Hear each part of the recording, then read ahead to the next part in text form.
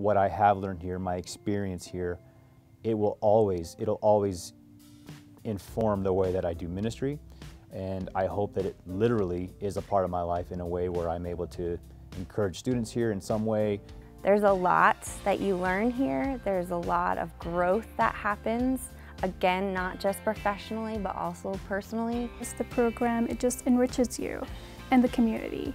Um, I've never met such generous and kind people anywhere else. The best parts about attending Denver Seminary for me are the incredible community and the incredible support that we get, not just from the staff, but also from the faculty itself.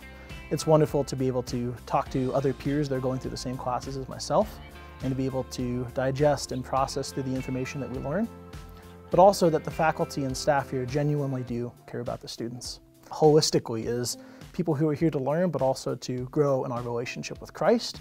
And that, both those in tandem are, are really put at the forefront, and I really appreciate that.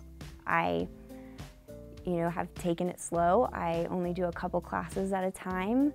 So it has been really refreshing to have professors and have um, others in the building have my back to be able to invest in my family and do things that we love and stay connected while I'm on this journey of pursuing my degree. I'm so immensely grateful. I can't describe it in words. And, I say that because I cannot imagine my life, um, what it would be like if people didn't offer the help that I needed. Uh, I have been able to study uh, because of financial aid throughout college. I've been able to graduate. And I definitely wouldn't be at Denver Seminary if I didn't get financial aid. Thank you for participating in Day to Give and for making seminary education possible for myself and for so many others. We're very thankful.